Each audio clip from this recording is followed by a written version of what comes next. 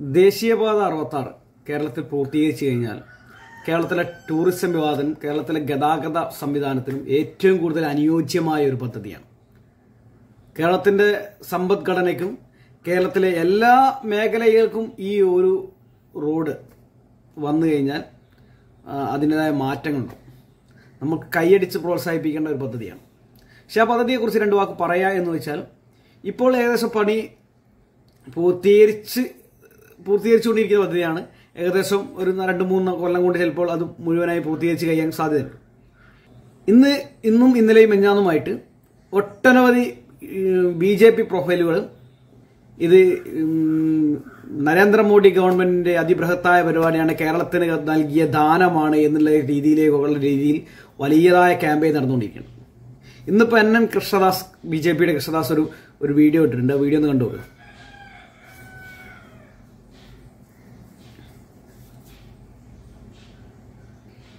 അതിന്റെ കോമഡി എന്താ വെച്ചാൽ ആ വീഡിയോ തയ്യാറാക്കിയത് തന്നെ കേരള ഗവൺമെന്റാണ് അത് പോട്ടെ ഇതുപോലെ ബി ജെ പിയുടെ ഒട്ടനവധി പ്രമുഖരായ പ്രൊ- പിന്നെ പ്രൊഫൈലുകൾ ഇത് വളരെ പ്രചരിപ്പിക്കുന്നുണ്ട്. ബി ജെ പി ഗവൺമെന്റിന്റെ കേരളത്തിന് നൽകിയ ദാനമാണ് ഈ ദേശീയ പാത അറുപത്തി ആറ് അത് കേരളത്തിന് ഏറ്റവും കൂടുതൽ അനുയോജ്യമായ പദ്ധതിയാണ്. ഇത് ബി ജെ പി ഗവൺമെന്റ് ആനയാണ് ചേമ്പാണ് കുതിരയാണെന്നൊക്കെയാണ് പറയുന്നത്. നമ്മളതിന് തർക്കമൊന്നുമില്ല. പക്ഷെ രണ്ട് മൂന്ന് ചോദ്യങ്ങൾക്ക് നിങ്ങൾക്ക് കൃത്യമായി ഉത്തരം തരണം. ഈ രാജ്യത്ത് ഈ ദേശീയ പാത അറുപത്തി ആറ് കടന്നു പോകുന്ന സംസ്ഥാനങ്ങളിൽ സൗജന്യമായി കേന്ദ്ര ഗവൺമെന്റ് ഫണ്ട് ഇറക്കിയിട്ടല്ലേ ഈ സംവിധാനം നടക്കുന്നത് അല്ലെ നടന്നു നടന്നു കഴിഞ്ഞത് അല്ലേ? ഈ കേരളത്തിൽ ഈ റോഡ് വന്നു കഴിഞ്ഞപ്പോൾ ഈ റോഡിന്റെ സ്ഥലം ഏറ്റെടുപ്പുമായി ബന്ധപ്പെട്ട് ചില പ്രശ്നങ്ങൾ ഉണ്ടായപ്പോൾ കേരളത്തിൽ ഈ പദ്ധതി ഉപേക്ഷിച്ച് മടങ്ങിയതല്ലേ ഈ കേന്ദ്ര ഗവൺമെന്റ്? കേരളത്തിൽ മാത്രം ഈ പദ്ധതി മുടങ്ങി മറ്റെല്ലാ സംസ്ഥാനങ്ങളിലും പദ്ധതി പൂർത്തീകരിച്ച് പണി നടന്നുകൊണ്ടിരിക്കുന്നിടത്തുണ്ട് പൂർത്തീകരിച്ച സ്ഥലങ്ങളുണ്ട്. അപ്പോൾ ഈ കേരളത്തിൽ മാത്രം ഈ പദ്ധതി നിന്നുപോയി. ആ നിന്നുപോയ സമയത്താണ് ഇടതുപക്ഷ ഗവൺമെന്റ് അധികാരത്തിൽ ഒന്നാം പിണറായി സർക്കാർ അധികാരത്തിലിരുന്നത്. അധികാരത്തിൽ വന്നു കഴിഞ്ഞാൽ പിണറായി വിജയൻ പറഞ്ഞു ദേശീയവാദ സ്ഥലം ഏറ്റെടുപ്പ് ഞങ്ങൾ കൃത്യമായി നടപ്പാക്കുമെന്ന് പറഞ്ഞപ്പോൾ ബി ജെ പിയുടെ ഇന്നത്തെ സംസ്ഥാന പ്രസിഡന്റായ കെ സുരേന്ദ്രന്റെ പ്രൊഫൈലിൽ എഫ് ബി പ്രൊഫൈലിൽ അദ്ദേഹം എഴുതി ചേർത്ത് ഇത് ഇപ്പോഴും പബ്ലിക് ഡൊമൈനിൽ കിടക്കുന്നുണ്ട്. അദ്ദേഹം പറഞ്ഞത് ദേശീയപാത സ്ഥലം ഏറ്റെടുപ്പ് പിണറായി വിജയൻ നടപ്പാക്കിയാൽ ഇച്ഛാശക്തിയുള്ള ഒരു ഗവൺമെന്റാണ് ഇച്ഛാശക്തിയുള്ള ഒരു ഭരണാധികാരിയാണ് പിണറായി വിജയൻ എന്ന് ഞാൻ സമ്മതിക്കും എന്ന് പറഞ്ഞ കെ സുരേന്ദ്രൻ. അതായത് കേരളത്തിൽ നടക്കൂല. അത് പിണറായി വിജയൻ വന്നല്ല ആര് വന്നാലും നടപ്പാക്കാൻ കഴിയില്ല. എന്ന് പറയുന്ന സ്ഥലത്താണ് ഇന്ന് ആ സ്ഥലമേറ്റെടുപ്പ് പൂർത്തിയായി കഴിഞ്ഞ് പണി പകുതിയോളം നടന്നുകൊണ്ടിരിക്കുന്ന സ്ഥലം. ഇനി മറ്റൊരു ചോദ്യം. അപ്പോൾ പിണറായി വിജയന്റെ കഴിവ് ഇതിലുണ്ട്. പിണറായി വിജയൻ അല്ല ഇടതുപക്ഷ ഗവൺമെന്റിന്റെ കഴിവ് ഇവിടെ ഉണ്ട്. അതുകൊണ്ട് മാത്രമാണ് ഇത് കേരളത്തിൽ സ്ഥലമേറ്റെടുപ്പ് നടന്നത്. ഈ കേരളത്തിൽ പണി തുടങ്ങാൻ ആരംഭിച്ച ആരംഭിച്ചത് അല്ലെ? സമ്മതിച്ചത്. ഇനി മറ്റൊരു ചോദ്യം.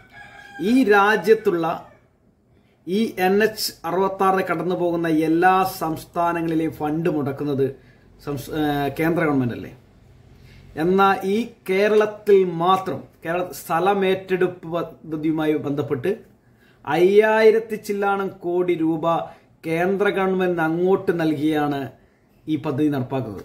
അപ്പോൾ ഈ പദ്ധതി കേരളത്തിൽ നടപ്പാക്കുന്നതിൽ ഇടതുപക്ഷത്തിലെ രണ്ടാമത്തെ ഇടപെടലാണിത്. ഒന്ന് സ്ഥലം ഏറ്റെടുത്ത് നൽകിയത് രണ്ട് സ്ഥലം ഏറ്റെടുക്കുന്നതിലേക്ക് ഫണ്ട്.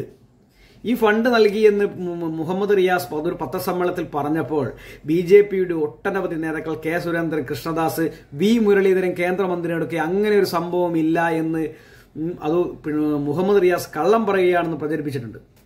എന്നാൽ പാർലമെന്റിൽ രേഖാമൂലം നിതിൻ ഗഡ്കരി പറഞ്ഞിട്ടുണ്ട് കേരളം ഇത്ര രൂപ അയ്യായിരത്തി ചില്ലാണം കോടി രൂപ കേന്ദ്രത്തിന് ഈ സ്ഥലത്തിലെ സ്ഥലമേറ്റെടുപ്പ് പദ്ധതിയായി നൽകിയിട്ടുണ്ട് എന്ന് രേഖാമൂലം പറഞ്ഞതിന് ശേഷമാണ് ഇവരെ തിരുത്താൻ തയ്യാറായത്. അല്ലേ? അപ്പോൾ ഇപ്പോൾ ഈ ഈ ദേശീയപാത അറുപത്താറിന്റെ പദ്ധതി കേരളം നടപ്പാക്കി കഴിഞ്ഞാൽ അല്പം ഉദ്ഘാടനം ചെയ്യാൻ പ്രധാനമന്ത്രി വരും സ്വാഭാവികമാണ്. അപ്പോൾ അത് കേന്ദ്രത്തിന്റെ പരിപാടി പദ്ധതി മുഴുവനായിട്ട് കേന്ദ്രത്തിന്റെ പദ്ധതിയാണ്. അതുകൊണ്ട് ഇത് ആനയാണ് ചേമ്പാണ് ഇത് നരേന്ദ്രമോദിയുടെ ഔദാര്യമാണ് ദാനമാണ് വരദാനമാണ് എന്നൊക്കെ പറഞ്ഞ് വരുമ്പോൾ നിങ്ങൾ ഇത്തരം കാര്യങ്ങളോട് ഒന്ന് ശ്രദ്ധ ജനങ്ങളോട് പറയാൻ തയ്യാറാവണം എന്നാണ് പറയാനുള്ളത്. ഒന്ന് ഇതിന്റെ സ്ഥലമേറ്റെടുപ്പിലേക്ക് മറ്റേതെങ്കിലും സംസ്ഥാനം പണം നൽകിയിട്ടുണ്ടോ? ഉണ്ടെങ്കിൽ അത്.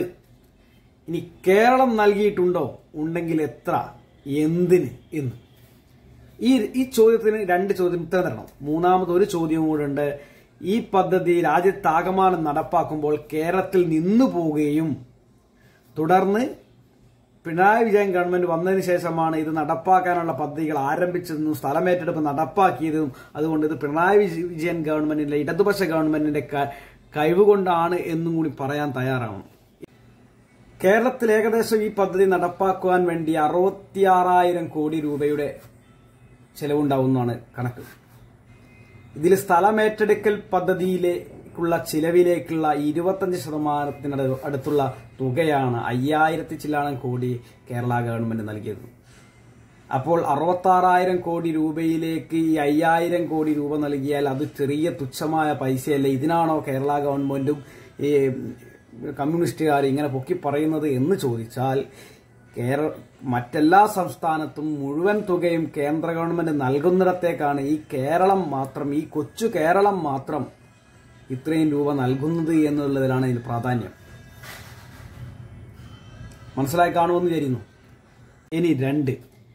ഈ കൃഷ്ണദാസൊക്കെ പോസ്റ്റിട്ട് മാഹി ഹൈവേ തലശ്ശേരി കൂടെ കടന്നു പോകുന്ന ഹൈവേ എന്നൊക്കെ പറഞ്ഞിട്ട് ഇത് നരേന്ദ്രമോദിയുടെ വരദാനമാണ് എന്നൊക്കെ പറയുന്നവരോടാണ് പറയുന്നത് കിയാറ്റൂരിൽ വെച്ച് ഈ ഹൈവേ നടക്കാൻ പാടില്ല ഈ ഹൈവേ ഇതിലൂടെ കൊണ്ടുവരാൻ പാടില്ല എന്ന് പറഞ്ഞ വ- വയൽക്കിളികൾ സമരം ചെയ്തപ്പോൾ ആ വയൽക്കിളികൾ എന്ന് പറയുന്നത് അവിടുത്തെ പ്രാദേശിക തലത്തിലെ ആ പ്രാദേശിക ഒരു വികാരമായിരുന്ന ആ സമരം.